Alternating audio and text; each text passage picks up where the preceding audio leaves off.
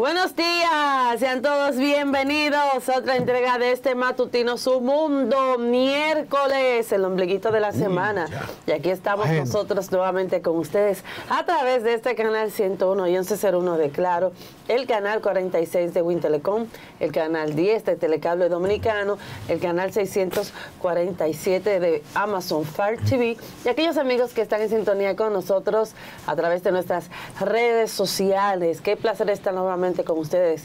Siempre pues aquí eh, deseándoles que tengan un buen inicio del día y sobre todo prometiéndoles un contenido de calidad. ¿Cómo se sienten Marino Alcántara y Pedro Galán? Firme, firme, Marino. Hubo problema ayer, Marino. Ay, sí, saludos, Pedro. Saludos, Saludos. Problema.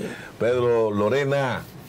Buenos días, amigas y amigos, fieles seguidores de Matutino Su Mundo desde la República Dominicana para todo el mundo. Somos el más moderno ecosistema comunicacional de la República Dominicana porque somos televisión, somos radio, somos periódico y ustedes que son los mejores inician el día con el mejor matutino su mundo. Don Pedro Galán, cuénteme. Bien de bien, firme, país. Buenos días, mundo. Buenos días, amigas, amigos. Bienvenidos una vez más a este matutino Su Mundo. Por supuesto, dándole la gracia al Dios Todopoderoso por este día. Vale, no hubo problema ayer. Los hospitales estaban, mira, repletos. Todo el mundo buscando a sus parientes. Fueron a la policía. Mire que mi, que mi marido, mi mujer no aparece. ¿Sabes dónde estaban? ¿Dónde? En un tapón. Ah, un tapón. Sí, eran los tapones que estaban, Marino. Cualquiera se asusta, Pedro. Oye, me estaban desesperados. Sí. Y mira, Marino, mm. hay que pensarlo dos veces todo. Feminicidio, son 40 años que le van a cantar. Pero a la mujer hay que matarla, ¿oíste? Pero a besos. De besos y de amor. Más. De amor y caricias. Con una sobredosis de caricia, dice el cantante. Sí. Pero amanecemos hoy con un clima bastante agradable. Muy bueno, muy bueno. ¿eh? La gente por lo menos ha tenido que bajarle un poco la temperatura a los aires, los abanicos, etcétera.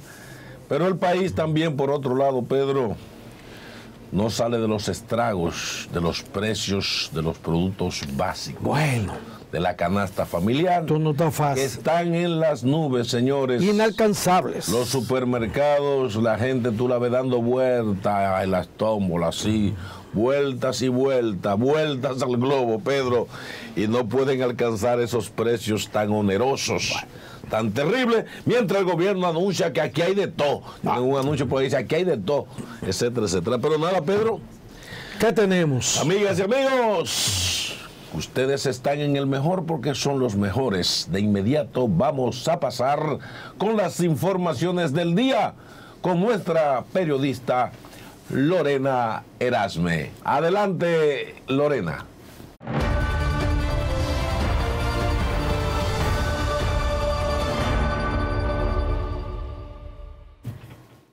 Así es, para iniciar este bloque de inmediato vamos a hacer contacto en directo desde la UNAMED. Allí se encuentra Heriberto Fabián para las informaciones del tiempo en este miércoles para este matutino Su Mundo. Buenos días, Heriberto, ¿qué tenemos? Muy buenos días, Lorena. Eh, para hoy el territorio dominicano no experimentará cambio apreciable en el estado del tiempo como resultado de una masa de aire con un contenido de humedad muy reducido. Estas condiciones atmosféricas mantendrán limitadas las formaciones nubosas casi a nivel nacional, generando un ambiente con escasas precipitaciones. Eh, sin embargo, la combinación del viento del este-noreste, eh, así como el calentamiento diurno y la geografía, de la geografía nacional, pueden originar en horas vespertinas ligeros aumentos nubosos con chubacos aislados, especialmente sobre algunas localidades de las regiones norte, noreste y los sistemas montañosos. Eh, destacamos que la vaguada que ha estado en nuestra área de pronóstico eh, se aleja del país. Para mañana seguiremos con, con condiciones secas y estables en gran parte de la geografía nacional. Un sistema de alta presión estará dominando y favoreciendo un cielo generalmente soleado con poca nubosidad excepto hacia las áreas de montaña, donde pueden presentarse chubacos aislados al final de la tarde por la incidencia del calentamiento diurno y la orografía. Eh, por otro lado, eh, se mantiene la recomendación a los operadores de freires y pequeñas embarcaciones de permanecer en puerto desde Cabo Francés Viejo, esto es en María Trinidad Sánchez, hasta Cabo San Rafael en la Altagracia, debido a vientos y olas anormales. Mientras que para el resto de la costa atlántica se recomienda navegar con precaución cerca del perímetro costero.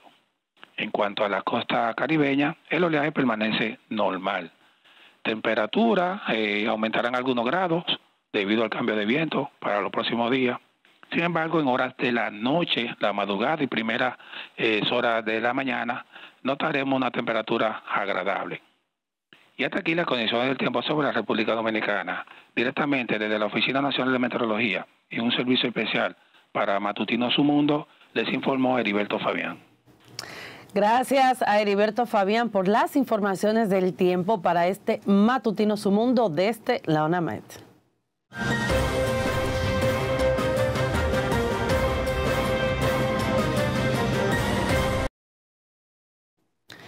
Iniciamos este bloque con el tema del cólera, ya que después de que el pasado viernes fueron identificados dos casos en el sector La Sursa de esta capital, el ministro de Salud Pública visitó el lugar donde más de 30 personas aún están a la espera de los resultados médicos debido a que presentan síntomas de la enfermedad. Nuestra periodista Jazmín Díaz nos amplía más.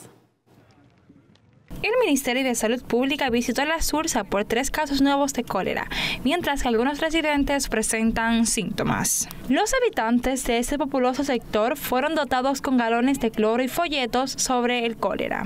Con los síntomas vamos a hablar, cólera. Vamos a hablar con el mocoso porque hay un protocolo. Se llevaron tres casos sospechosos. Después que lo hidrataron, se dieron a la fuga de esos tres casos que se dieron. Pero el área 4, el Departamento de Epidemiología del área y del Mocoso está en comunicación constante para darle seguimiento a esos pacientes. Los residentes de la Sursa aseguran que han manifestado constantes síntomas debido a que no tienen letrina en sus hogares, por lo que tienen que lanzar sus heces fecales al río. ¿Y dónde realizan sus, necesidades? En una baña y la botamos para el río. Yo mismo lo expliqué porque a mí me dio la otra vez. Porque yo, lo mismo que le pasó a ella, me, entonces me decía que no, que no, que hacer una gripe. Y yo le dije, tú tienes ese virus. Vómito, diarrea. No puedo. No está mayormente agotado. Imagínense aquí, yo no veo que esa contaminación así tan fuerte. El director del área 4 de salud afirmó que varios habitantes de la Sursa han acudido al hospital Moscoso Puello con síntomas de esta enfermedad y posteriormente de ser atendidos se han dado a la fuga. Jazmín Díaz, Noticias, Su Mundo. Volver al uso de las mascarillas, dado el comportamiento del COVID-19 en República Dominicana, no es necesario para algunos congresistas, mientras que para otros sí. Y como nos cuenta nuestra periodista Yulisa Reyes, la ponderación se debe a que Estados Unidos emitió una orden para el uso de las mismas en lugares cerrados. Veamos el siguiente reporte. El COVID-19 todavía no es cosa del pasado. Su comportamiento actual mantiene el virus como una de las enfermedades que más atenta contra la vida de las personas. Senadores consideran que aunque se deben emplear medidas preventivas, en el país no hay razones para usar otra vez las mascarillas. Los congresistas manifestaron que si las autoridades dan un tratamiento correcto al comportamiento de la enfermedad, no habrá necesidad de adoptar la medida. Estoy sin mascarilla aquí todos estamos sin mascarilla. Debiéramos tener mascarilla por, por la situación incluso climática que está viviendo el país, el cambio de estación. Tenemos enfermedades respiratorias que son propias de la estación, como la influenza, como la presencia del virus sincitial respiratorio. Tenemos que tener conciencia de la situación e independientemente de las medidas que tomen las autoridades, el pueblo como tal, ya conociendo lo que significa este virus más otros que hay, ya debemos ir tomando conciencia para ir usando eh, las medidas de prevención. Han pedido ya que, se solicite la vacuna bivalente, que es la que va a contrarrestar cualquier eh, otro virus que venga, otras transformaciones del COVID. Otra variante. Otra variante, pero eh, de por sí ya aquí lo que ha habido es una, una simple gripe con influenza. Pero mientras algunos dicen estar tranquilos considerando que en el país la situación está controlada, hay otros que entienden que debe usarse las mascarillas para evitar más contagios por el virus. Bueno, yo pienso que sí, porque por lo menos en los sitios cerrados, tomando en cuenta que eso mismo está haciendo, lo ha recomendado la Organización Mundial de la Salud, eh, Estados Unidos, por ejemplo, y otros países desarrollados ya sí lo están haciendo, porque en primer lugar lo que hay es que cuidar la salud. En tanto que especialistas de la salud dicen que el hecho de que algunos países vuelvan al uso del tapabocas ante la trayectoria ascendente del COVID no quiere decir que en República Dominicana hay que hacer lo propio. En Estados Unidos hay una alarma. Aquí no tiene que haberla por el momento. ¿Por qué? porque este es el centro a nivel nacional que más pacientes recibe y los pacientes de muy escasos recursos. Sin embargo, no hay COVID, muy poco, el Ministerio de Salud Pública ha reportado 313 nuevos casos del COVID y la Organización Panamericana de la Salud advierte que el aumento de los casos que se observa en muchos países, incluyendo República Dominicana, podría reflejar ser solo una fracción del número real de infecciones. Yulisa Reyes, Noticias, Su Mundo. La lucha del Colegio Médico Dominicano en contra de las aseguradoras de riesgos de salud llega hasta los tribunales con el sometimiento de una acción de amparo ante la Cámara Civil Comercial del Distrito Nacional que abarca también el organismo rector de Seguridad Social. Nuestra periodista Vanessa Valdés nos amplía más sobre estas informaciones. El Colegio Médico Dominicano anunció este martes que someterán una acción de amparo a las ARS y un sometimiento a los tribunales al Consejo Nacional de Seguridad Social. Esta se marca por violación a la Ley 8701 en su artículo 173 que les impide otorgar códigos a los prestadores por negar atención a los pacientes. Que les impide a ellas taxativamente la facultad para otorgar códigos a los prestadores. La acción fue interpuesta por el abogado de los médicos. El Colegio Médico Dominicano haciendo uso de las disposiciones constitucionales y legales que rigen la materia de la acción de amparo, se dispone a proceder ante este juez de garantías procurando una tutela efectiva y la protección de los derechos fundamentales a la salud y a la seguridad social. El doctor Senecaba advirtió que la forma más viable para levantar la lucha es con la ampliación del plan básico de salud. Y que estas, reiteramos, las ARS han venido usufructuando en claro afán de discriminar, presionar y negar el derecho a atender a los afiliados de la seguridad social. Sin embargo, reveló que las ARS buscan algunas vertientes para posibles soluciones de las demandas producidas por el gremio. Vanessa Valdés, Noticias, Su Mundo. Choferes demandan el retiro total de los pilotillos colocados para la creación de la ciclovía habilitada en la avenida Bolívar. Nuestra periodista Yulisa Reyes conversó con algunos choferes y nos trae la siguiente historia.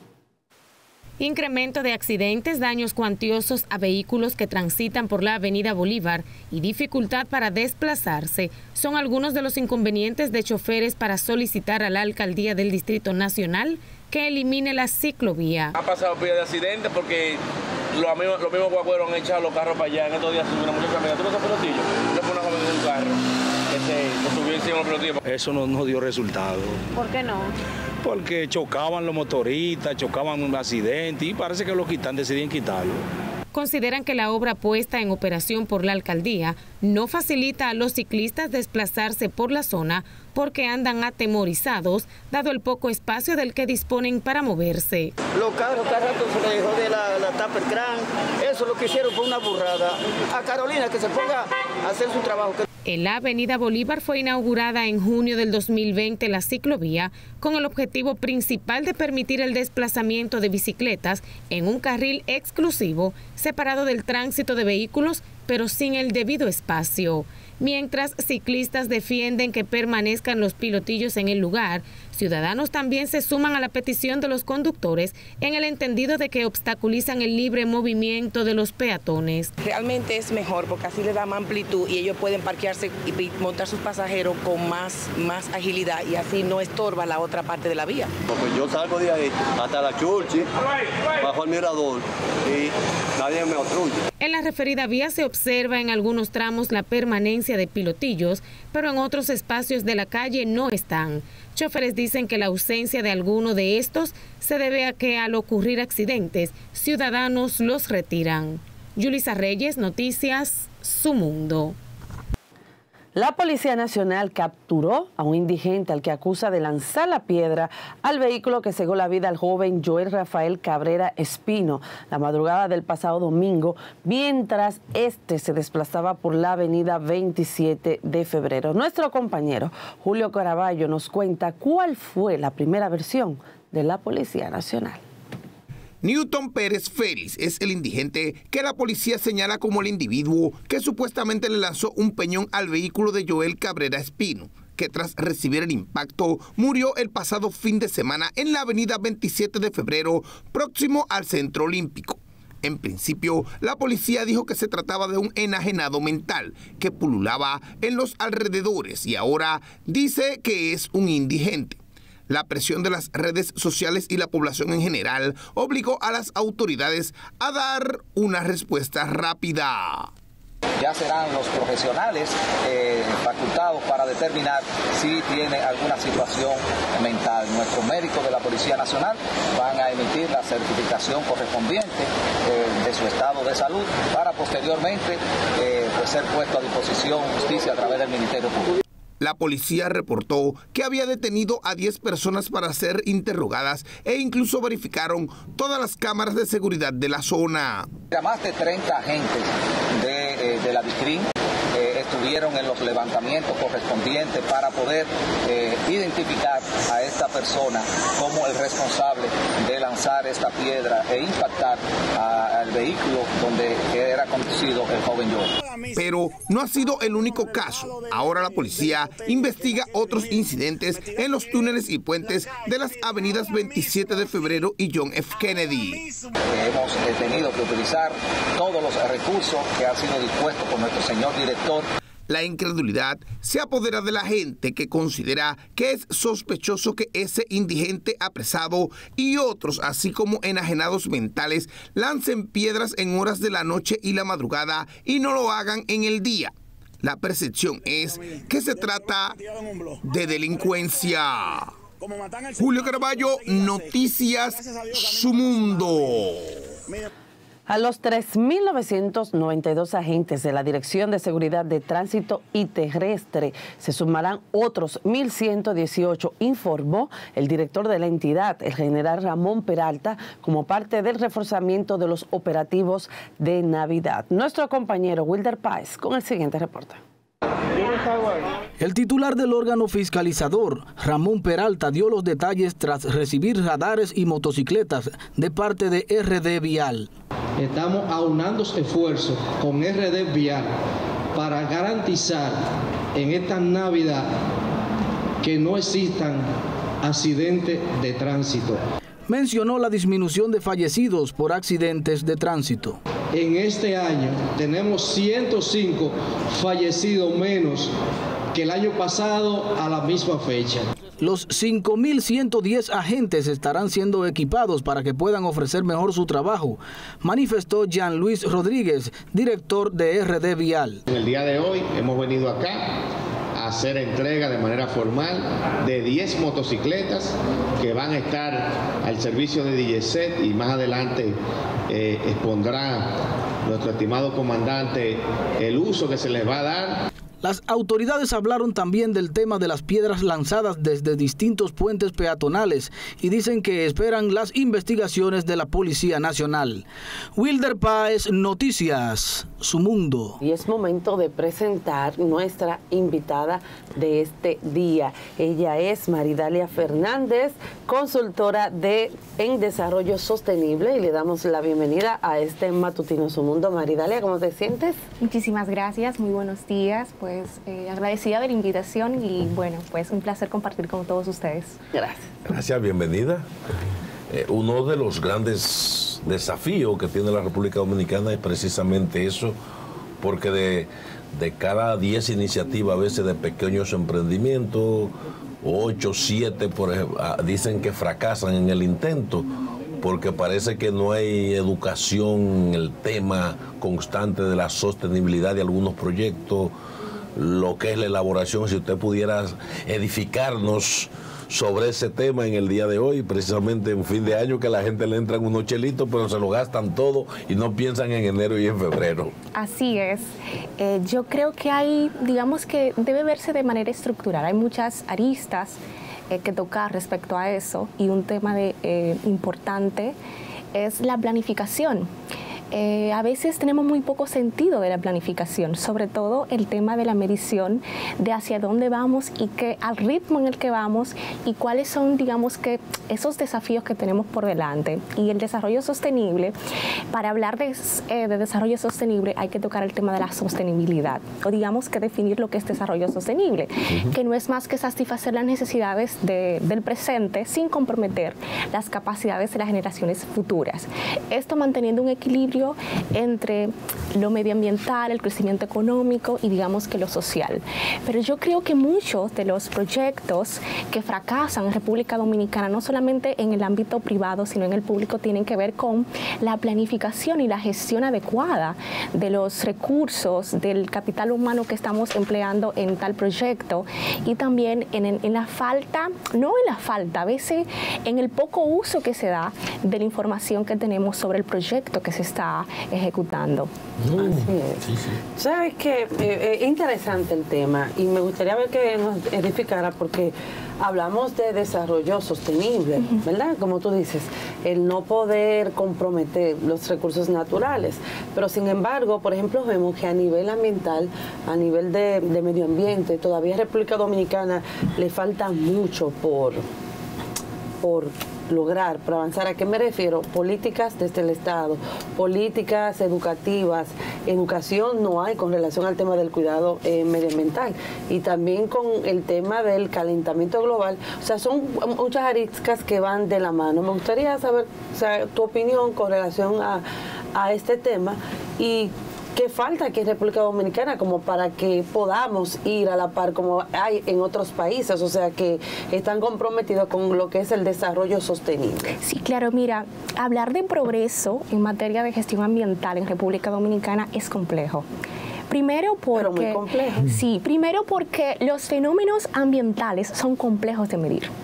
Segundo, porque el Sistema Estadístico Nacional Dominicano es pobre en materia de disponibilidad de información ambiental. Entonces, eh, comparar República Dominicana que está bien o está mal, eh, frente a qué, para eso necesitamos eh, tener data, data que sea comparable a nivel regional e internacional. Con respecto al tema ambiental es que debe de abordarse de manera integral. A veces vemos sectores que están atomizados, que están desarticulados, pero el tema ambiental tiene una eh, un hilo muy fino o casi invisible con otras actividades em, de la vida nacional. Por ejemplo, es casi imposible dividir lo ambiental de lo económico, porque toda actividad económica prácticamente tiene intrínseco el tema ambiental, igual de educación. Entonces, es un tema que tiene que verse de manera integral, por ejemplo, en la gestión de, los, de, los, de las alcaldías, la gestión de los desechos. Es un tema ambiental, pero también es un tema social. Y yo creo que con lo que menciona es importante porque el tema ambiental tiene que estar en la educación de los niños, en la educación eh, cívica de las personas, pero también en quienes hacen las políticas públicas desde diferentes sectores de una u otra manera tienen que considerar el tema ambiental porque es que está presente en todas las actividades que realiza el ser humano. Entonces tiene que verse de esa manera integrar desde una perspectiva que de una u otra manera eh, logre la, adecuada articulación que existe o que debe existir entre los diferentes sectores, porque es que el medio ambiente está intrínseco en todo, pero sí ciertamente hay retos, por ejemplo, hay retos, con relación a la gestión de los desechos sólidos. Por ejemplo, República Dominicana tiene indicadores que hasta la fecha no puede medir. Aquí no sabemos la cantidad de desechos que se, que se tratan, que se vierten al, al, vertedero. Tenemos eh, desafíos con relación al estrés hídrico, por ejemplo, por concepto de explotación. Las cañadas. Exacto, las cañadas. E igual cuando vemos que hay diferente, cuando hay fuertes lluvias, que vemos que, que hay temas que, que, las calles se inundan, también es un tema medioambiental.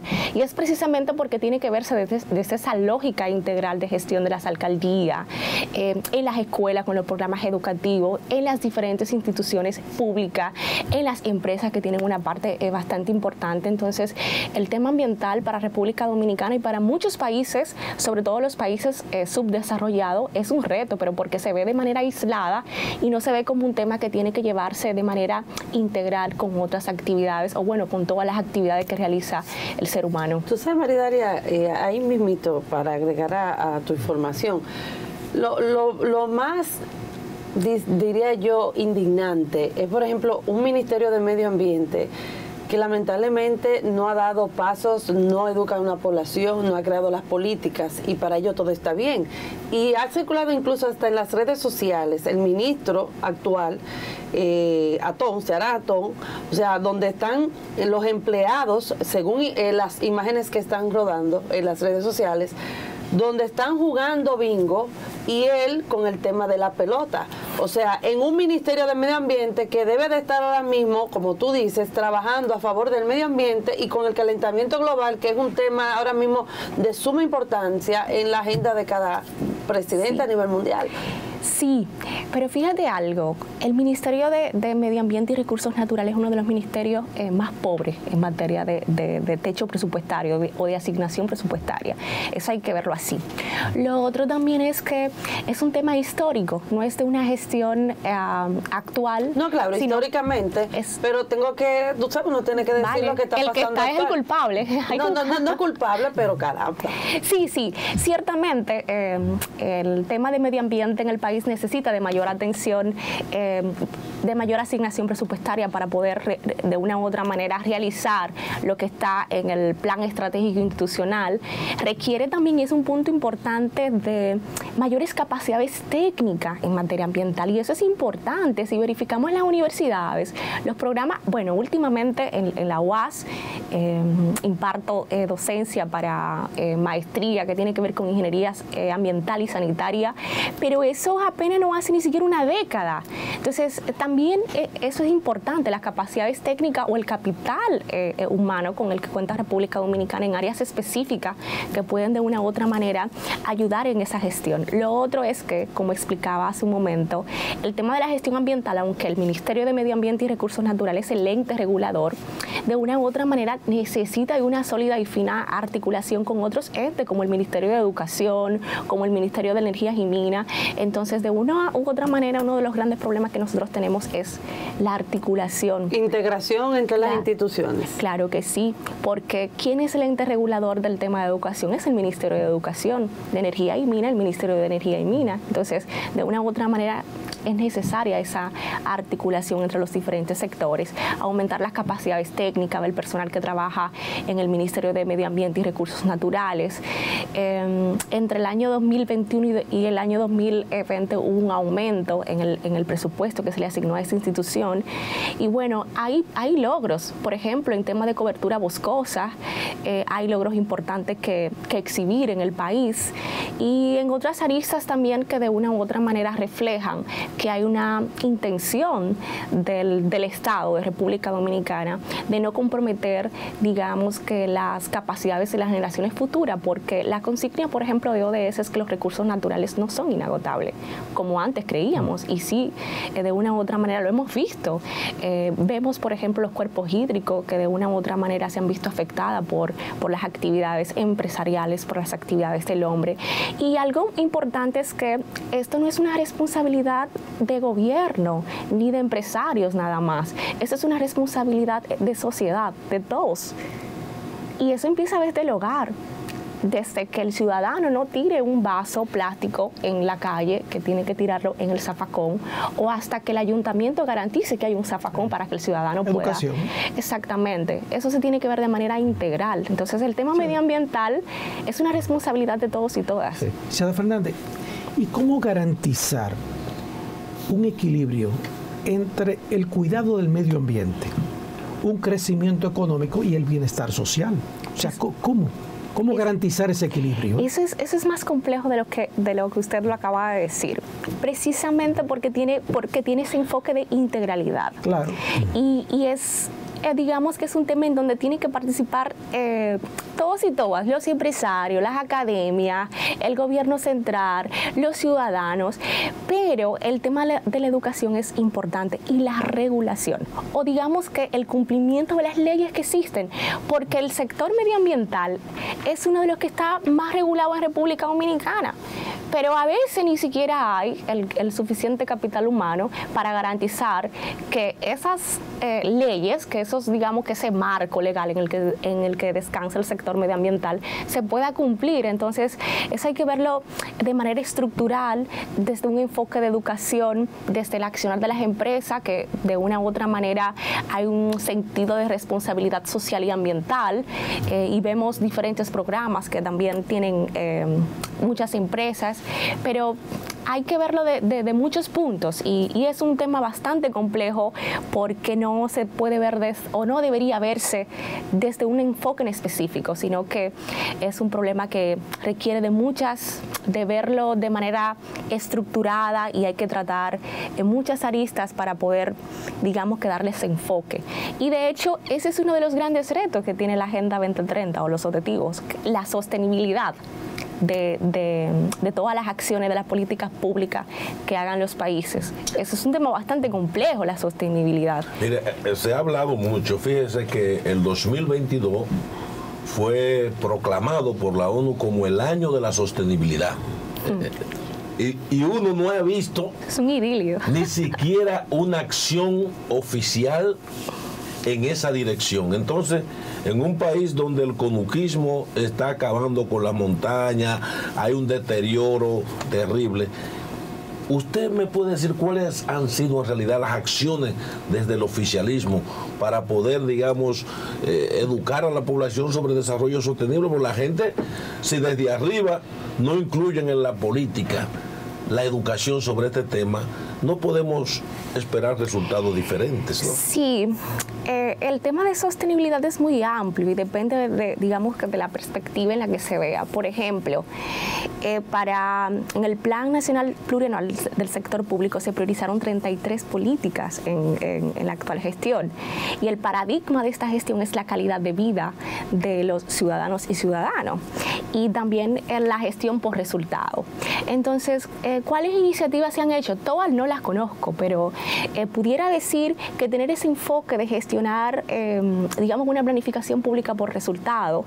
Eh, igual el tema de inclusión de muchísimos temas que tienen que ver con, con, medio ambiente en las instituciones públicas. Vemos también algunas empresas que tienen alguno, digamos que sentido de responsabilidad y cuidado del medio ambiente, pero ciertamente el cuidado y la protección del medio ambiente y es, ese, ese tema específico, vale, porque la sostenibilidad tiene que ver con el equilibrio social, ambiental em, y económico. Vemos que hay logros importantes en la parte económica. Si dejamos atrás o, consideramos el tema de los efectos de la pandemia y la actual crisis internacional que hay con respecto a Rusia y a Ucrania, hay logros importantes en materia económica y hay logros importantes también el tema social, aunque mm, de una u otra manera se pudiese sentir que hay un retroceso en lo, social, y no solamente en República Dominicana, también en, América Latina y el Caribe está pasando eso. Iniciativa pudiese, habría que ver lo que se está haciendo en, el sector eh, eh, privado también, pero en el público hay muchas políticas públicas encaminadas a eso. Por ejemplo, dentro de las 33 políticas públicas hay políticas que tienen que ver con la gestión y el cuidado del medio ambiente, con la gestión también que tenga que ver con, con temas relacionados al cambio climático, con la gestión del recurso del agua. Eh, y bueno, creo, creo, creo que sí, que, que el enfoque de, de, de, de las políticas públicas sí se incluye temas que garantizan la sostenibilidad Mire, por ejemplo, de, del desarrollo de la República Dominicana. de mi parte, por ejemplo, la agricultura en la República Dominicana es el principal elemento de contaminación ambiental. Usted va a las zonas donde se produce agricultura y tenemos que los pesticidas y sus envases son lanzados al agua. Entonces ahí hay un problema gravísimo porque no se ha educado a las asociaciones de que de la disponibilidad final de estos envases que son terribles para el medio ambiente. Mire, ayer mismo se reportó en la presa del lago de Atillo la muerte de muchísimos peces que están tirados hacia el orillo. O sea, ¿qué quiere decir? Que hay niveles de contaminación que posiblemente sea la misma barrigol la que esté contaminando el ambiente. Tenemos, por ejemplo, aquí se pierde más del 70% del agua que llueve, porque porque las 34 presas que tiene el país están sedimentadas y apenas están, digamos, sirviendo en un 40% de su capacidad de embalse de agua. Viene una sequía, no embromamos, teniendo 34 presas. O sea, como que no es parte, digamos, de la, de la, de la política del gobierno proteger a esta, a esta, a esta sociedad. Sí es parte de la política del gobierno. Es que muchas veces las políticas están de una u otra manera divorciadas con el accionar de los funcionarios que dirigen las instituciones públicas. Y usted me diría a mí, pero no estamos hablando de lo mismo. No necesariamente. Y ciertamente en República Dominicana hay deudas históricas con relación a la gestión, no solamente del sector um, agrícola, y usted citó uno de los casos, digamos que menores, pero en el sector agrícola se utilizan fertilizantes, pesticidas, que eso también está bastante regulado, pero además del sector agrícola eh, hay otros sectores importantes, pero es, es lo que digo, de una u otra manera, eh, esa gestión integral e incluirlo en la educación de República Dominicana, que quienes tomen tengan sentido o tengan ese espíritu de la sostenibilidad o de incluir ese aspecto ambiental dentro de la gestión de sus políticas públicas es importante. Pero también, por ejemplo, en el caso, y vuelvo otra vez, no tengo nada con relación a esa institución, en este caso también en medio ambiente debe de haber una persona que le duela lo que es el tema ambiental y que esté capacitada para lo mismo, no poner un funcionario por ponerlo y punto, que es lo que siempre vemos, ¿verdad? Para agotar eh, los, los cargos. Por otra parte, me gustaría saber, por ejemplo, he visto empresas en el país con el tema de la, del desarrollo sostenible que a través de lo que es la responsabilidad social, o sea, o sea, que hay empresas que, para que el público pueda entender lo que es responsabilidad social, tienen como un compromiso, por ejemplo, de, los, de sus beneficios, bueno, vamos a tratar tal vez el tema de la tierra, el tema de la plantación, etcétera, etcétera, y lo hacen. Hay, aquí hay empresas que están comprometidas con lo que es el desarrollo sostenible a nivel institucional y también a nivel de responsabilidad social. Claro, de hecho, eh, casi... ¿Qué tanto hemos avanzado?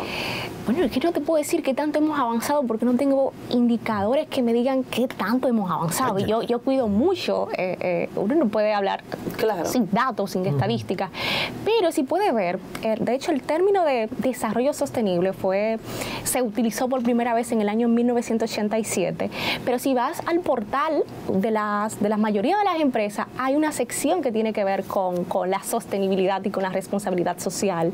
En los bancos, en las cooperativas, en las empresas, se ve esa parte y constantemente vemos en sus redes sociales que tienen actividades, por ejemplo, de sembrar árboles, de una u otra manera de... Recoger, la, por ejemplo, la basura de las playas. Recoger la basura de las playas e igualmente, eh, ad- además de esa parte, tienen el- la- los desechos peligrosos o los residuos peligrosos, siempre lo contratan compañía para que hagan un proceso, digamos que de reciclaje o de tratamiento para no vertirlo completamente al, digamos que, que al medio ambiente. Y otro aspecto importante es que República Dominicana es signataria de muchísimos compromisos internacionales que son regulados. Que son regulados. Entonces, eh, de una u otra manera, a mí me parece, verdad, no tengo datos ni cifras oficiales, a mí me parece que sí hemos avanzado en ese sentido porque la mayoría de las empresas incluyen el tema de la sostenibilidad desde un punto de responsabilidad social y responsabilidad medioambiental dentro de su estructura. A veces hay un departamento específicamente para esa parte. He participado también en diferentes eh, escenarios sobre temas medioambientales en donde están la mayoría de, las personas eh, que dirigen empresas importantes en República Dominicana. Y viéndolo así desde ese punto de vista, sí me parece que en la parte de sensibilización y la gestión de muchísimas iniciativas sí hemos avanzado. Sí, señora Fernández, pero ¿qué ha hecho el país realmente para poder cumplir con todos esos compromisos y todos esos objetivos del sostenimiento? El país, nosotros tenemos logros importantes, por ejemplo, en, el tema de la pobreza, en el tema de, la salud también, porque es que los, a ver, eso tiene que ver de, cuando hablamos que, que, ha logrado República Dominicana en materia de esos objetivos de desarrollo sostenible. hay logros, sí, hay logros importantes, por ejemplo, en el tema de, la salud, en el tema de educación, ni siquiera lo voy a mencionar. Mm. sí, para República Dominicana pareciera que estamos retrocediendo una década hacia atrás. Em, también hay logros importantes en el tema de producción y consumo sostenible en, República Dominicana, pero aún así, y de hecho es lo que se está, lo que se, lo que, lo que se dice en la comunidad internacional, por, por la pandemia COVID-19, esos objetivos al 2030 cada vez más estamos más alejados de, digamos que, de cumplirlo. Pero es que esos, los objetivos no se pueden ver de manera generalizada, sino las metas que hay dentro de cada uno de los objetivos. ¿Qué tal está República Dominicana con relación al logro de esos objetivos de desarrollo sostenible? El país rinde un informe todos los años, que es un informe, ya no voluntario país, pero es un informe que presentan los países para hacer una rendición de cuentas con relación a los avances que tiene República Dominicana respecto a las 169 metas que tienen los 17 objetivos de desarrollo sostenible. Y ciertamente hay avances importantes, por ejemplo, en materia de energía. Eh, eh, en materia de energía tenemos avances con relación a la, a la diversificación de la matriz energética. Tenemos más generación de energía eh, renovables. También tenemos avance en materia de cobertura boscosa. Tenemos avance en el porcentaje de hogares que tiene acceso a agua y eso es importante porque a veces nosotros nos concentramos eh, únicamente en los desafíos que hay, pero también hay, avances importantes en otros aspectos. E igual em, en, el, en el ODS 7 o en el ODS 8 eh, con relación al al tema económico, hay avance importante. ¿Dónde están los principales desafíos? Yo creo en materia de cumplimiento de los ODS, em, el tema de la planificación urbana o planificación territorial, el ODS 11, y la mayoría de los ODS de, planeta o medioambiental hay retos importantes por, por lo que hemos conversado hace un momento y sobre todo porque en el sistema estadístico nacional hay vacíos importantes de información estadística que nos puedan dar cuenta acerca de cómo vamos con relación al cumplimiento de esas metas. Ahora vamos avanzando. De 169 tenemos 5, o sea que vamos avanzando. ¿Tú crees que 5, no puedo decir que hay 5. Como 5, 6. no, bueno, de 169. Es que una meta. Aquí al 2040 podemos tal vez. Vamos, sí, vamos. ¿Usted cree?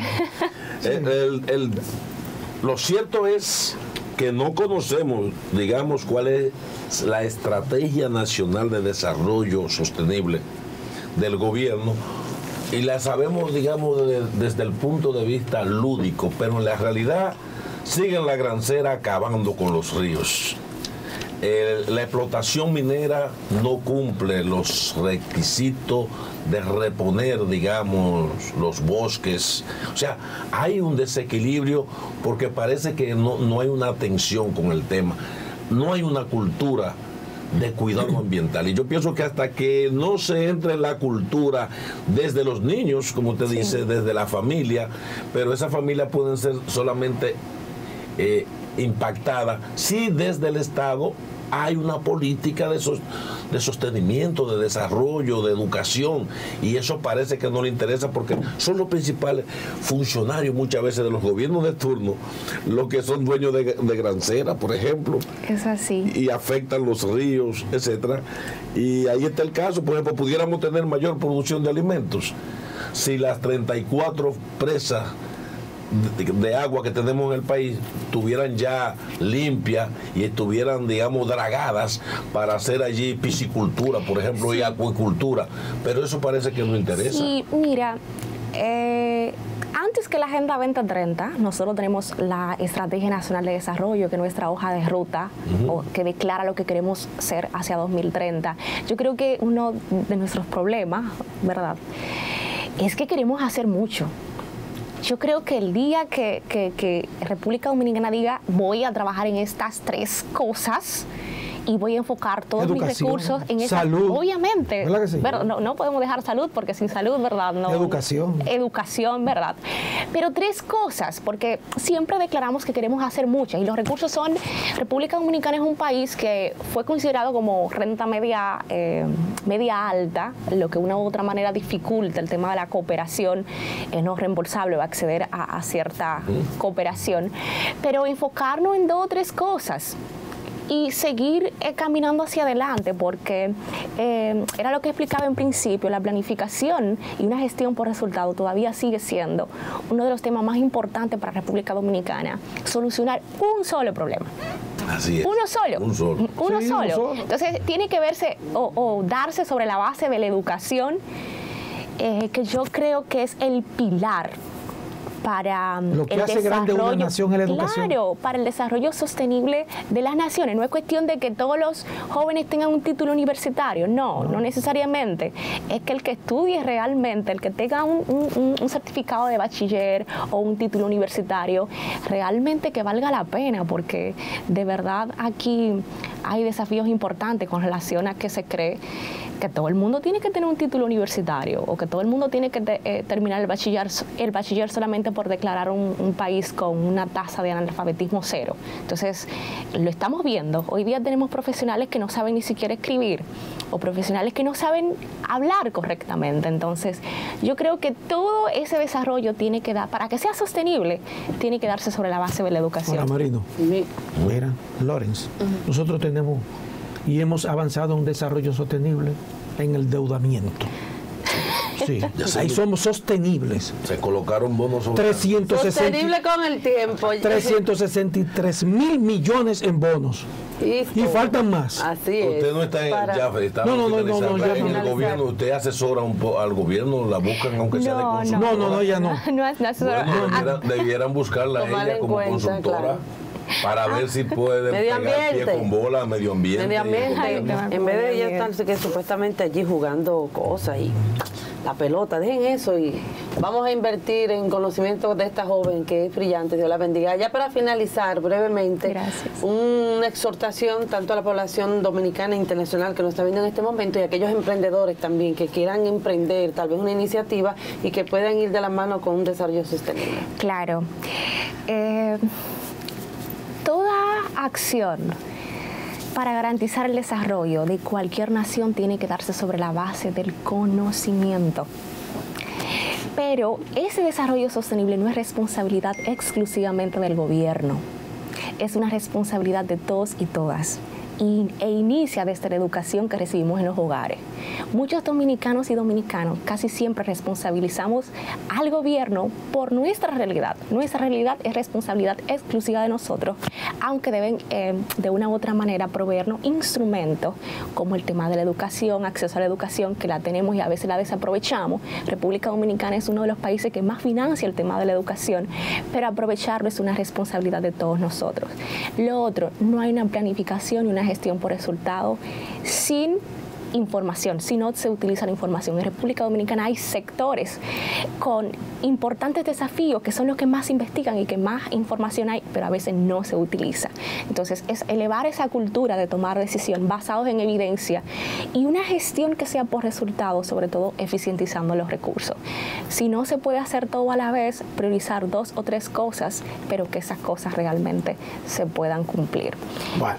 Y sigan ahí endeudando el más el país. Maridalia, gracias por haber estado con nosotros. Gracias por la invitación. Muy buenos días amigos y amigas, bienvenidos a su segmento Finanzas Su Mundo. Para mí es un placer presentarles el día de hoy porque vamos a hablar de inclusión financiera al director de negocios de Ban Reservas Robinson Porto Real y a la gerente de gestión de segmentos de negocios Lisette Alcántara que nos van a hablar en qué consiste precisamente la inclusión financiera que está trabajando el Banco de Reservas. Muy buenos días.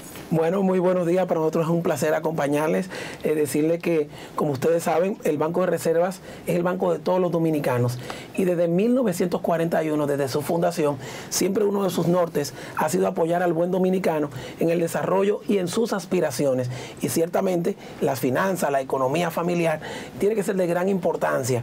Bueno, quiero comenzar diciéndote que desde hace unos años el Banco Mundial, las autoridades monetarias de la República Dominicana miden el nivel de bancarización en la República Dominicana. Típicamente, este número siempre ha estado, el nivel de bancarización, entre un 44 y un 48% de la población bancarizada, lo cual dice que más del 50% de los dominicanos está excluido del sistema financiero regulado. Eso conlleva una serie de situaciones. Imagínate, cuando tú no tienes acceso a la banca, no tienes la oportunidad de recibir pagos, transferencias, ir a un banco, poder hacer comercio. Te quiero poner un ejemplo de una familia que venda pasteles en hoja, que venda frutas. Eh, si este pequeño comerciante, este micro comerciante, quiere demostrar en un banco que él vende 1.500 pesos, 2.000 pesos diarios, el banco le va a preguntar, ¿cómo tú me demuestras que tú vendes 2.000 pesos diarios? Porque es en efectivo, no tiene una prueba. Entonces le dicen, bueno, tráeme tus movimientos de cuenta, tráeme una certificación de ingresos y el que está en la informalidad no tiene forma. Bueno, por supuesto. hemos creado todo un ecosistema eh, de productos para vincular al buen dominicano. Excelente. ¿Y en qué consisten entonces, eh, Robinson, esta serie de productos que está logrando, verdad? Eh, esta inclusión financiera para resolverle la situación precisamente a esa gente, como tú has mencionado, que trabaja en la informalidad y que a la hora de desear bancarizarse, pues no cumple con esos requisitos solicitados. Bueno, pues decirte que el primer paso que ha dado esta administración eh, que dirige don Samuel Pereira Rojas eh, fue crear un programa llamado Bancarizar es Patria. Bancarizar es Patria incluye productos, oye, productos y también educación financiera. Uno de los, productos que tenemos de educación es el proyecto o programa Preserva, que persigue la inclusión financiera y el rescate financiero para aquellas personas que han pecado en el pasado y han tenido situaciones. ¿Y cuáles son los pasos entonces que incluye ese programa de preserva? Una persona que quiera eh, eh, llegar a él y cuáles son verdad las situaciones que, tiene que presentar el, ciudadano para formarse entonces dentro de ese programa de Lo único que debe de tener es la voluntad de educarse o de rescatarse y tener su cédula de buen dominicano. En nuestras redes sociales, Banreservas RD, Banreservas Oficial, ahí pueden buscar programa Preserva, van a tener un formulario de inscripción con algunas preguntas y lo van a llevar a un taller de educación financiera. Cuando le den esa formación, usted aprenda sobre el ahorro, sobre su primer producto, sobre los productos de activos, tarjetas de crédito, el ahorro con propósito. Entonces, te vamos a hablar de productos.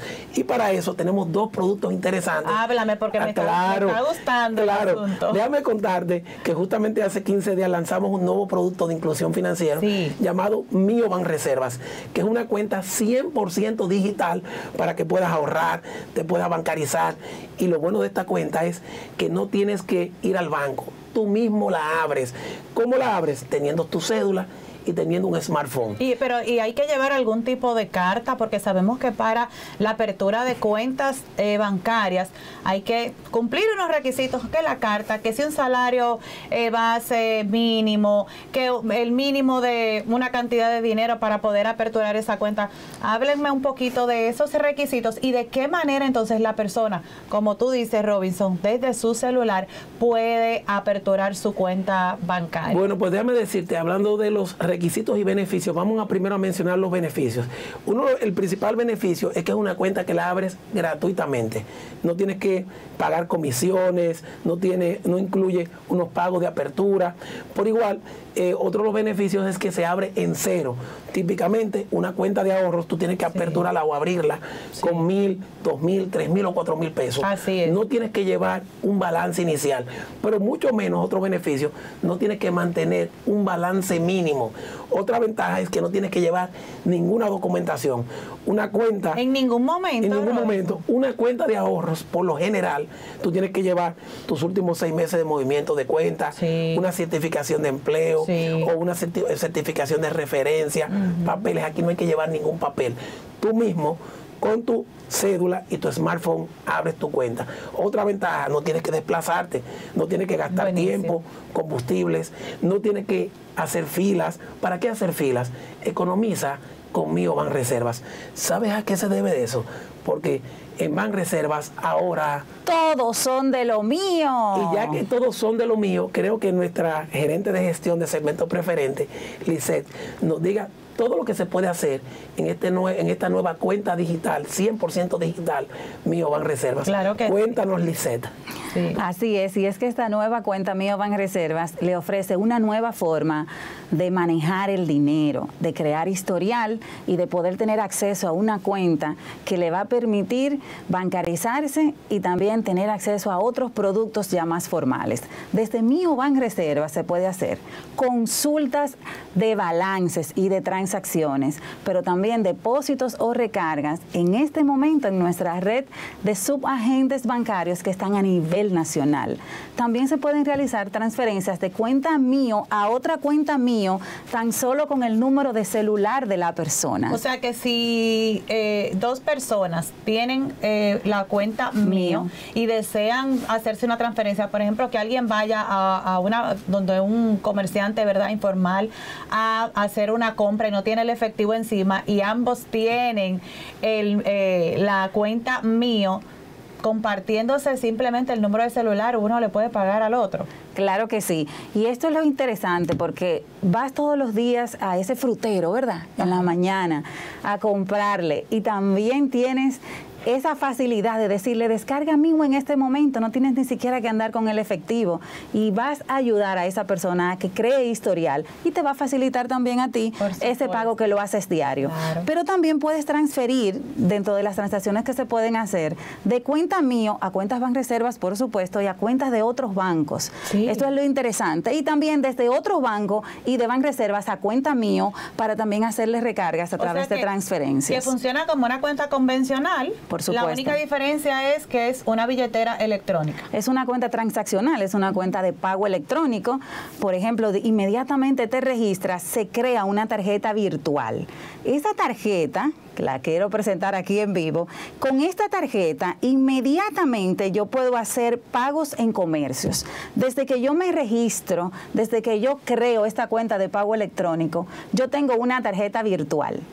Con esta tarjeta yo puedo hacer pagos en comercio que tiene la tecnología sin contacto desde el mismo celular. Pero también yo puedo hacer pagos de servicios, todo lo que es luz, agua, teléfono y todos estos servicios streaming lo puedo pagar con mi Ban Reservas y cuentas y también pagos por internet, compras por internet puedo realizar con esta tarjeta mío. Y tienen la facilidad de que si quieres tener el plástico en mano, en la misma aplicación hay una opción que dice quiero mi tarjeta física y de esta forma te llega directo a tu domicilio, al domicilio, a esta dirección que colocaste cuando abriste la cuenta y cuando le dices quiero mi tarjeta, colocas esa dirección y te llega al domicilio sin costo.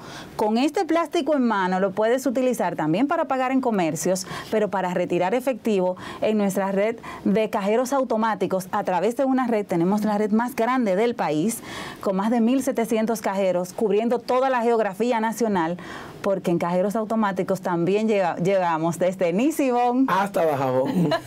Entonces, eh, Lisette, aperturó la cuenta a través de una aplicación. Así es. Y para poder eh, tener el balance disponible, ¿verdad? Porque la abrí quizá una tarde desde la, el comedor de mi casa. Eh, abrí la cuenta. Entonces, luego tengo que ir a uno de los subagentes bancarios o a una sucursal a depositar el balance que quiero tener disponible en la cuenta. Así funciona. Si, eso, si tú quieres recargar, puedes hacerlo a través de un subagente en este momento, en efectivo.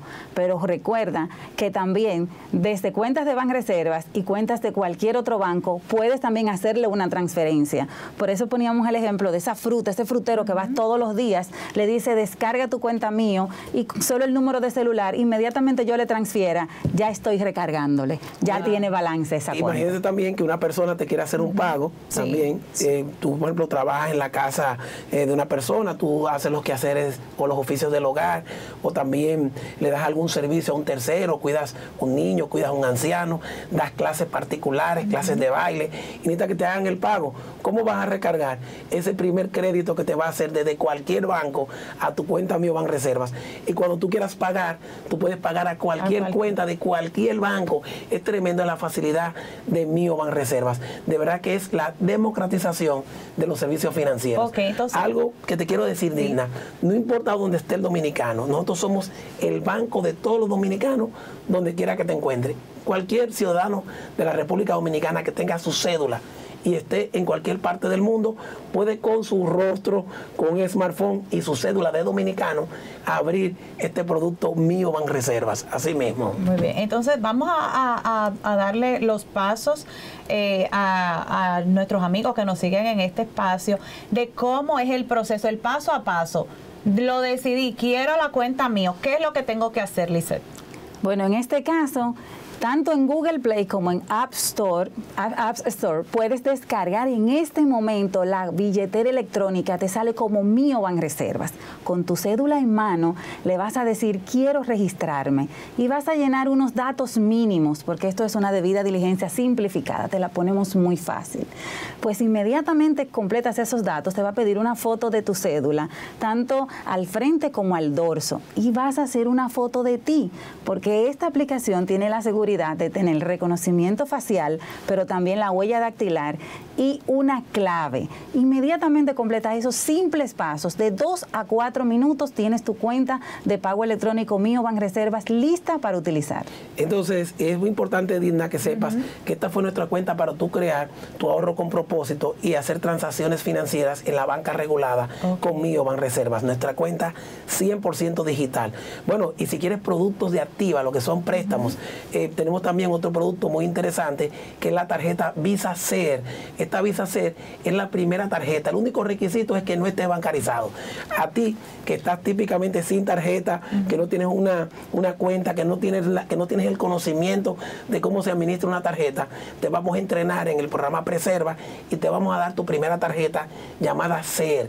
Esta tarjeta tiene unos requisitos mínimos, justamente que no estés incluido, que tengas algunos pagos de nómina o algunos pagos de transferencia documentados en esa cuenta que tengas, ya sea mío o en una cuenta de ahorro, y vas a tener tu primera tarjeta. o sea que también el propósito de, esta, eh, de este producto mío es no solo bancarizar, sino también eh, darle su primer crédito a esas personas que quizá esos, esos jóvenes, ¿verdad? Que ahora empezaron ya en un trabajo eh, y están entrando en el mundo laboral para también de esa parte ellos puedan tener acceso a su primer crédito. Eso es así. Y eso, este primer crédito va a ser a través de nuestra tarjeta Visa C. Es una tarjeta de crédito, pero con educación y destinada para usted.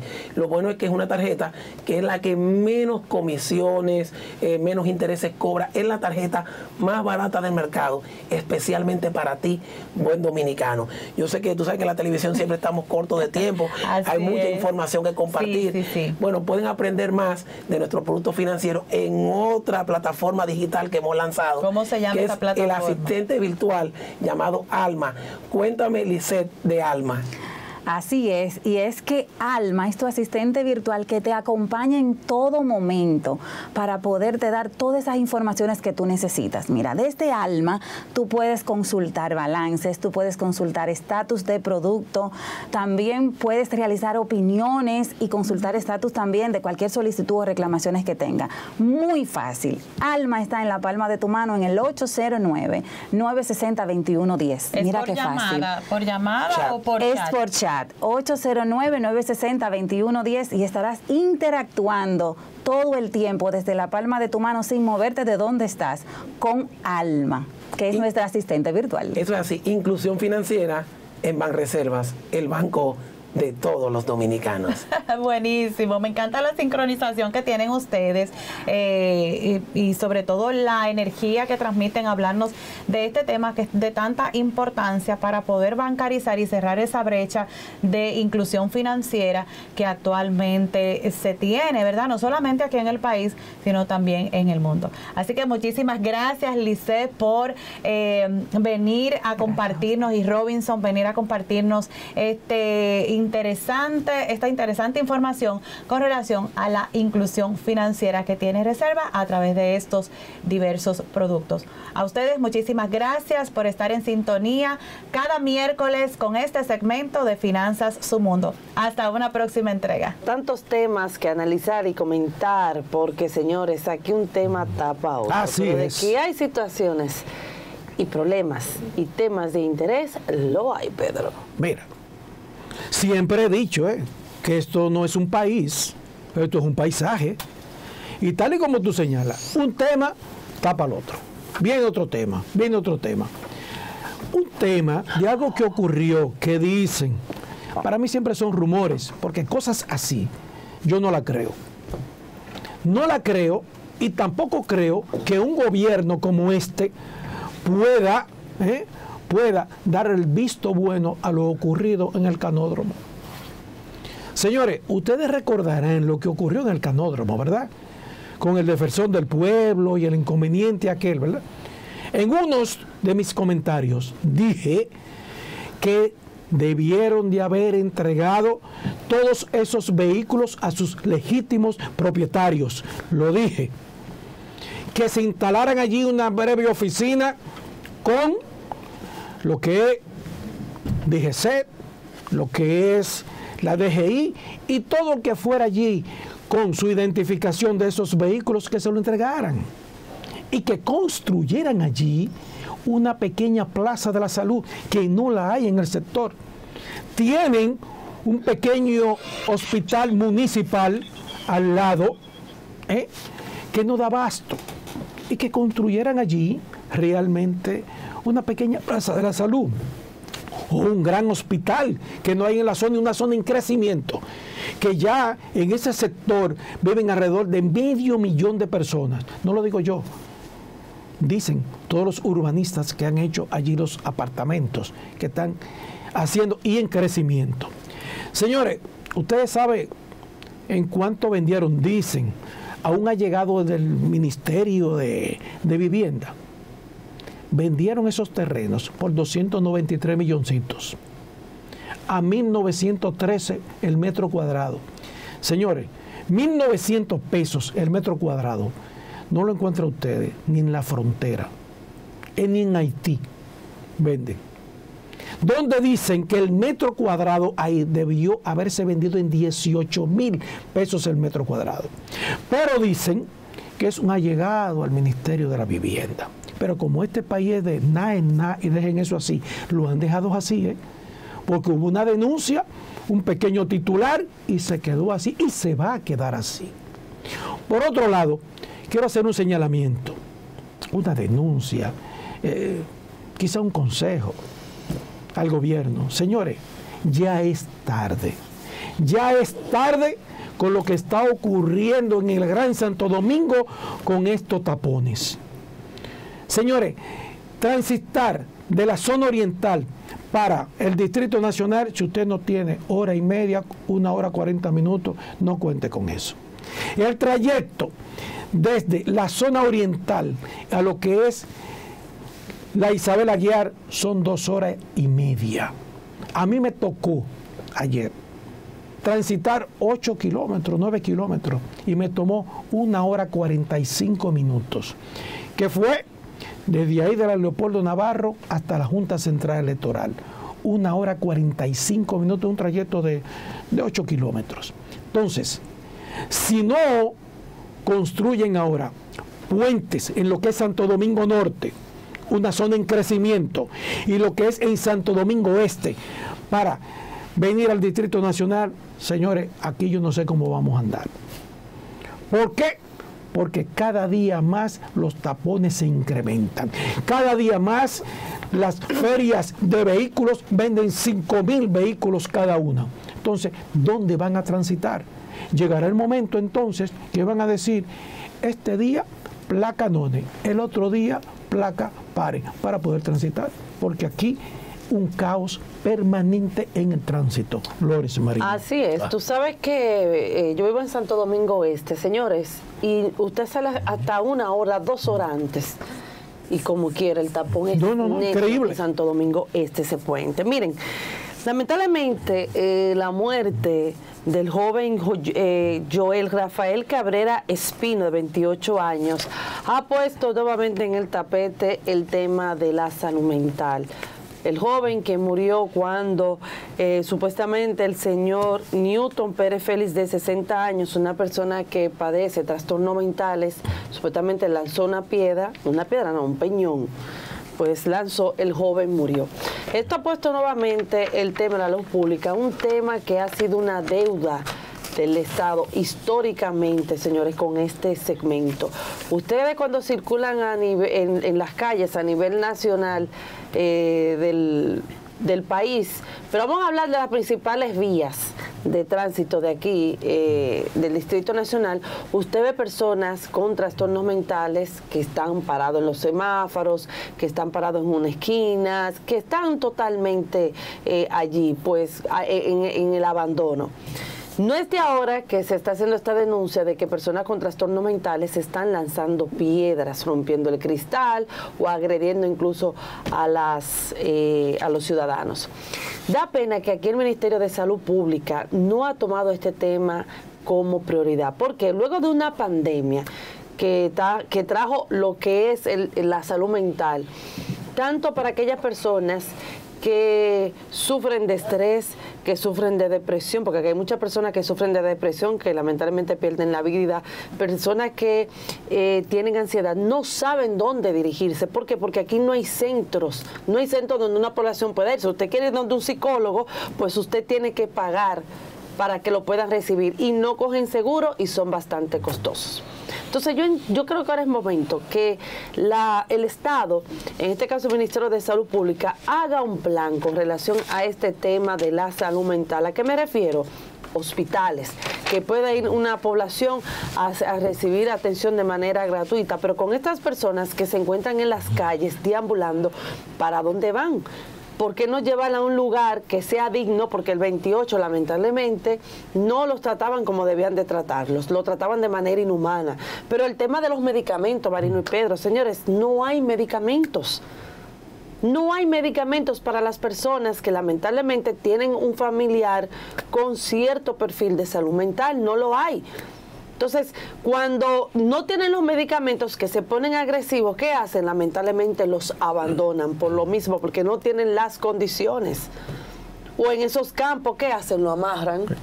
Lo amarran y son personas que lamentablemente están pasando por una situación de salud mental. Entonces yo creo que desde el Estado, señores, hay que crear políticas, un proyecto, un plan para saber qué vamos a hacer con el tema de la salud mental, que es, un, es una realidad. No es tanto aquellas personas que están en las calles con trastornos psicológicos, que hay, claro, hay que darle una atención número uno, hay que saber qué se van a hacer con ellos, porque son chocados, muchas mujeres son violadas en las calles que sufren de ciertos trastornos mentales. ¿A dónde van? ¿Qué van a hacer con ellos? Tenemos que eh, habilitar un espacio para hacerlo. Señora, aquí ni siquiera hay camas. En los dos hospitales que aquí hay para darle seguimiento a la persona con salud mental, ni siquiera hay camas. Entonces, hay que habilitar, insisto, un plan, un proyecto para saber qué vamos a hacer, porque ya hay una demanda, el tema del estrés, el tema de la ansiedad, insisto, el tema de la depresión, que no es tan solo aquella persona que ustedes ven en las calles, el tema de los medicamentos, por el amor de Cristo. Un Estado, señores, de espalda, de espalda históricamente a este tema de la salud mental porque no le importa. Pero mientras tanto, ahora en Navidad, los partidos políticos, el gobierno, están en campaña, tirando dinero en la calle y los temas como este de salud mental que son sumamente latentes para el país de, de gran importancia, no lo toman en cuenta. Así es. Eso es así. Es este paisaje. Dicen que afuera hay más locos que adentro. ¿Eh? Un principio que dice que existen más locuras que corduras y aún entre los cuerdos existen más locuras. Así es. Bien, señores, es para reflexionar, señores. El pueblo dominicano tiene que hacer una reflexión profunda. Estamos vendidos. Estamos endeudados hasta los tuéstanos. Estamos comprometidos el presente y el futuro del pueblo dominicano con esta ola olímpica de préstamos alegres que está haciendo el gobierno dominicano sin presentarle a su pueblo la justificación para los mismos. Este gobierno ha endeudado al país en dos años más que todos los presidentes de la historia dominicana, señores. Y aquí no pasa nada. Aquí no sale nadie a defender. Tenemos un Congreso ayepto, genuflexo, a todo lo que le pida al gobierno lo aprueban. Acaban de aprobar ahora, encima de toda esta deuda, 162 mil millones de pesos para ponerlo ahora como bonos soberanos. Ya tenemos comprometidos, señores, más del 60% del Producto Interno Bruto del país. ¿Cuál es la capacidad de más endeudamiento que puede tener un pueblo? Un pueblo donde esa partidocracia tradicional, coludida con sectores poderosos económicos, los llamados grupos de poderes fácticos, han comprometido este país a tal nivel, señores, que ya uno no encuentra qué hacer. ¿O es que este pueblo no va a reaccionar? Aquí no se ha resuelto en todos los años de historia un solo problema básico del pueblo dominicano. Aquí no hay agua. Aquí todavía la gente tiene que tener cisterna y comprar camiones de agua para poder tenerla. No hay agua potable. Ese problema no lo ha resuelto ningún gobierno. Como no ha resuelto el problema de la luz, de la energía. Aquí hay un déficit, señores. Entonces, ¿cómo es posible, señores, que el tema salud siga siendo un dolor de cabeza para el pueblo dominicano? Donde aquí solo salud tienen garantizados los poderes económicos grandes. No hay medicina, no tenemos, señores, abastecimiento necesario y el, pobre que se enferma queda a la deriva. Depende que el gobierno le haga el favor, que la primera dama, que la vicepresidenta haga una receta o una operación. Este pueblo está desprotegido. En materia de educación, somos uno de los peores países con el peor sistema educativo, señores. En agricultura tenemos que estar importando. ¿Cuál es el problema que ha resuelto la clase política tradicional de este país? Ninguno. Llegan pobres y salen millonarios. La impunidad campea por doquier. Entonces, señores, es momento que el pueblo dominicano tiene que hacer una gran reflexión. Tres partidos son los que nos han gobernado y ellos son los culpables del bien o mal como esté la sociedad dominicana. Ya es tiempo de reflexionar. Tomemos este tiempo de adviento, de espera para reflexionar, señores, si vamos a seguir con esta irresponsabilidad, permitiéndole a quienes administran los bienes del país que se sigan robando el patrimonio nacional, que sigan endeudando a las futuras generaciones. ¿Qué es lo que le vamos a guardar al país? Del futuro, cuando hoy por hoy estamos endeudados de manera alegre, sin tener que presentarle al país cuáles son las razones Señores, estamos vendidos. Señores, nos ha hincado este grupo, esta partidocracia maldita. De estos gobiernos ahora en Navidad, en vez de dejar descansar a la población para que reflexione, esté tranquila, comparte en familia, que ellos también deberían de, de compartir con, con, sus familiares lo que están politiqueando. Imagínate tú, ¿cómo podemos hacer? ¿Cómo le ganamos a Cuba? Sí, es pues un país que, que, está tomando préstamo en plena Navidad, donde están admitiendo que han, han tenido que buscar dos millones de tarjetas para gente. No, hombre, así no. Pero bien, amigas y amigos, desde la República Dominicana para el mundo, vamos ahora a hacer conexión con nuestra periodista Vanessa Valdés, que está en los barrios haciendo unas indagaciones sobre unos niños que se envenenaron, que fueron intoxicados con alimentos de la escuela. Adelante, Vanessa. Saludos, buenos días, así es. Hoy nos trasladamos al sector Acto Nuevo, específicamente en la Escuela Básica e Inicial Ana Lucía, Ana Lucía Pujols, donde hace dos días varios niños se intoxicaron con el desayuno escolar, específicamente la leche, estaba en un alto nivel de descomposición. Lamentablemente intentamos entrar al referido centro educativo y se nos impidió la entrada por el director de esta escuela. En estos momentos vamos a hablar con una comerciante que trabaja acá a las afueras de la escuela que presenció todo el acto cuando todos estos niños presentaron estos hechos de intoxicación Buenos días, madre. ¿Cuál es su nombre? Juliana Reyes. Juliana, cuénteme cómo fue el episodio de los niños, cómo salieron. Bueno, bueno, mi niña, muchos salieron con dolor de barriga, muchos salieron con vómito.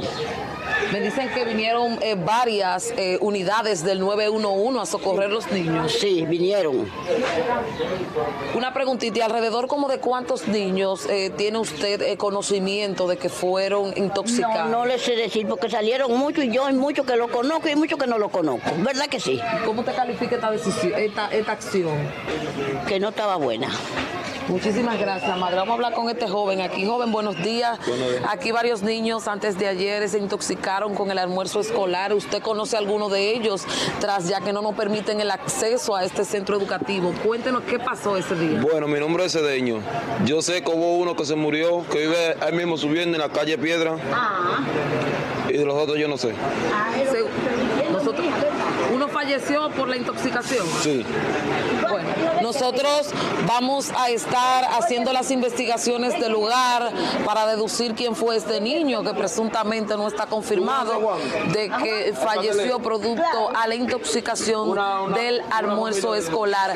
Mientras nosotros estaremos acá haciendo todas las investigaciones del lugar acá en el sector Ato Nuevo. Respecto al tema es toda la información que tengo. Yo retorno con ustedes al estudio, compañeros. De esta manera llegamos al final del programa de hoy. Gracias por su sintonía y los esperamos mañana jueves, que avanza la semana, ya antesala del fin de semana. Que tengan feliz resto del día. Hasta mañana.